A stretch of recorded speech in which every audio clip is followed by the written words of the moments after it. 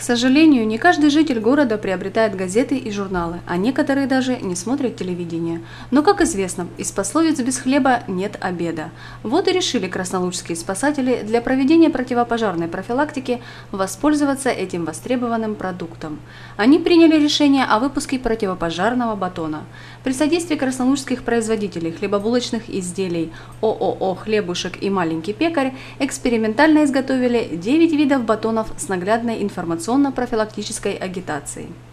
Такие хлебобулочные изделия уже поступили в продажу. Для профилактики пожаров, гибели и травмирования людей на них инспекторский состав Краснолучского отряда МЧС ЛНР с целью максимального охвата населения обратились за помощью к производителям хлебобулочных изделий с просьбой оказать содействие в распространении наглядной профилактической агитации на противопожарную тематику. Руководством предприятия проведения данной профилактической работы было одобрено и экспериментально были выпущены и поступили в продажу партии хлебобулочной продукции с наглядной агитацией. Проделанная работа также была положительно отмечена и потребителями. Основная цель выпуска данной продукции – это доведение до граждан необходимости соблюдения требований правил пожарной безопасности и номеров вызова экстренных служб.